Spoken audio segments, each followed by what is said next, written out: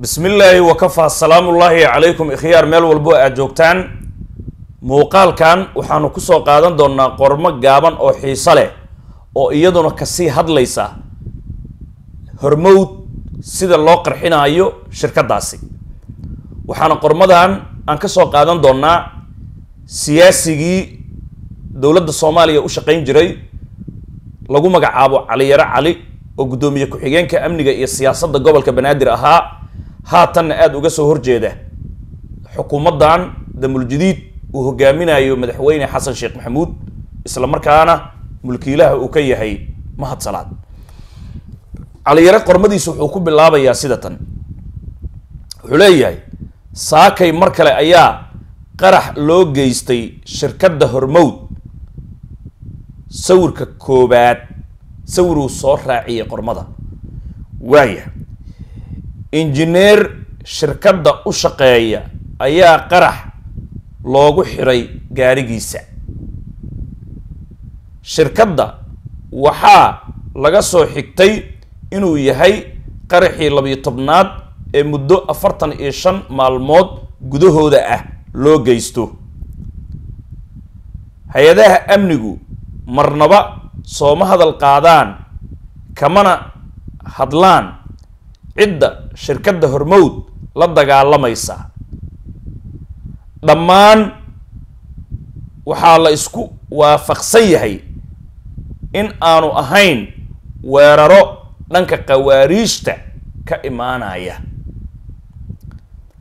Maadaama waxa qubanaya uu dhiig soomaaliyeed yahay sidoo kale hantida sida joogtada ah loo gubaayo ay hanti soomaaliyeed tahay toddoba su'aalood isweydiintooda waa lagama maarmaan. Sidaasuu leeyahay caliyare su'aasha koobaad hormuud lama qarxin jirin ee maxaa soo kordhay? Ma dagaal ganacsi ayaa dalka ka dilaacay oo shirkado isgaarsiineed ayaa suuqa ku soo galaya weerarada weeraradan maalgelinaya labo maxaa weeraradan ku soo beegay markii caalamku shirkadda hormowd ee soomaaliyeed uu aqoonsaday u aqoonsaday tan maamul ahaan ugu hagaagsan dunida idilkeed? Saddex ilaa hadda yay soomaalida ilaa hadda yay soomaalidu xog ogaalka ahi ogsoon tahay oo ay hormowd ishayaan kana hor istaagtay ka qaybgalkooda shirka shirkadaha isgaarsiinta dalka ee muqdisho ka qabsoomay nofembar saddex iyo toban sanadkan. Su'aasha afraad hay'adaha amniga dalku maxaanay hal mar xataa u soo hadal qaadin weeraradan joogtada ah ee hormowd oo ah shirkadda ugu weyn ee cashuur bixiyaha iyo deeq bixiyaha dalkana isku ah. Shan soomaalidii fakriga ahayd ee jeebka marnayd ayuu dagaalkoodu soddon iyo afar sano jirsaday hadda. Ilaa imisa ayuu socon karaa dagaal la isku maalgeliyo oo ka dhex qarxa maalqabeennada dhexdooda. Su'aasha lixaad maxaanay dowladda indheergaradka culimada ururada bulshada aamusiyey oo aanay uga hadal dagaalka lagu soo qaaday shirkaddii dalka ugu weyneyd ee loo cabasho tegi jiray mar kasta oo culays duruufeed la dareemo. Toddobo iyada oo amnigu soo hagaagayo sida dowladdu sheegto maxaan hal mar xataa loo soo qaban intaan oo qarax dadkii fuliyey midkoodna?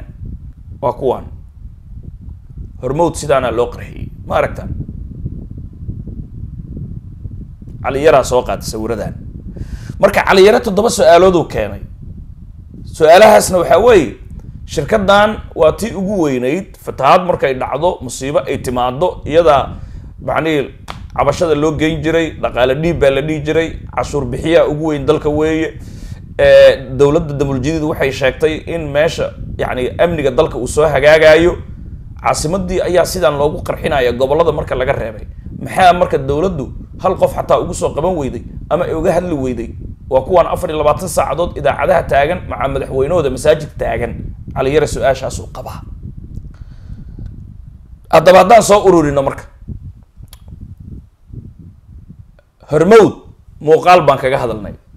Kan ka horreeyey. Waxaan ka sheekaynay dagaalka meeshuu salka ku haya caliyare hadda su'aal buu weydiiyey ee ah ma arkayse dagaalkan xagguu ka socdaa? Ani dagaalka meeshuu ku socdaa ma sheegay. Haddaan ahay macalinka lugeeya warbaahinta southern media corporation. Dagaalku waa ganacsi. Mahad salaad ayaa shuraako wuxuu la noqday nation link oo suuqa ka sii baxaysa. Horaan u sharaxnay. Xasan shiikhaa wax ku darsaday. Wax ma laga qaban karaa? Taasi waa hawl kale. Hawl aniga ii taalla laakiin annagu ka warbaahin ahaan waxaanu soo tabinaynaa waxa dadku ay qabaan iyo waxaa jira oo la isku haaya markaan ogaano qormadii caliyarana halkaasi ayaanu kaga gudbi doonaa haddii ilaahay uu ka raali noqdo.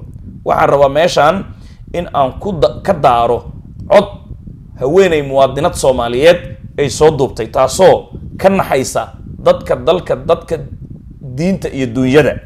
Aan soo dhaweyno haweenadaasi maamada soomaaliyeed. Haddii ilahay yidhahdo asalaamu calaykum macala aadan waa ku salaamay adii dhammaan inta haqa u hiilisa ummadda soomaaliyeed ee muwaadiniinta dhalinyarada soomaaliyeeday dhalinyarada soomaaliyeeday waddadii falastiin ayaa laydiin qalqaalinayaa baddaa dhumada weyn iyo kheyraadka ilaahay idin siiyana waa laynka qadinayaa waana laydin gumaysanayaa weliba gumaysi ayaa laynkugu darayaa waa iyadoo soomaali ay tahay dad madi ah ee aynan lahayn walaal wadadii dhulka falastiin loo qaatay ee maanta sidaa aragtiin loo xasuuqayo ayaa gacantana loo geliyey dowlad aan naga naxaynin waxba aan noo ahayn ee inay dadkooda baahdaan keliya naga soo horjeedo ayaa annagana inaan baahano aan raalli uga noqonay xasan sheikh wadankeena anagoo indheheena shantihiin qaniga ah ayuu dadkii saxaraha deganaa ee waxba aan haysanin ayuu gacanta noo geliyey waxa waaye waa in nala gumaystaa nala dilaa kii hadla la xiraa kii muwaadana la qaarajiyaa adinkuna raalle ayaad ku noqoteen haddaad tihiin dhalinyarada soomaaliyeed. War waxaan ku jira ciidan hub haysto. Waxaan ku jira dhalinyaro waxbaratay. Waxaan ku jira dhalinyaro aqoonyaan ah war gacmaha isqabsada maafiyadan ee maafiyada ku adeeganaysana dhulka ayaku ma laha.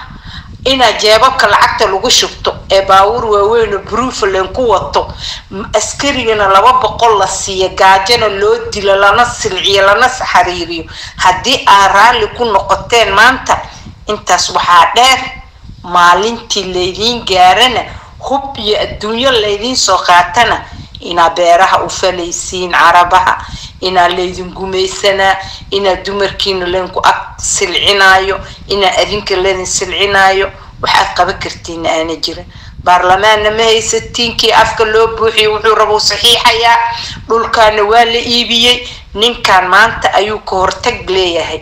Keligiina ma aha mid walba meeshuu joogo daniyaa dhulkii baabi'iyey oo khayraadkii iyo adduunyadii ku jirtay dhulka lala baxayaa madoobaa baddi iyo berigii beeciyey.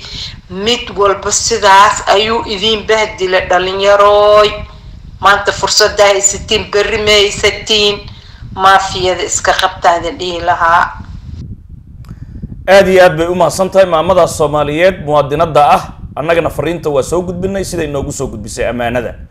Dardaarankeena waxaa weeye camalkana ilaahay dartiisa u qabo. Maxaa yeelay midkaad u camal falaysaa daraaddii ebe waa arkayaa sahaydana badso. Safarka waa uu dheeryahay xamuulkana iska yaree kaabada la fuuli doona mid adag weeyaan.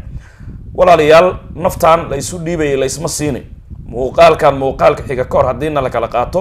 Ballanteena waxaa weeye inaan ku kulanno xawdkii nebi maxamed calayhi salaatu wasalaam firdowsa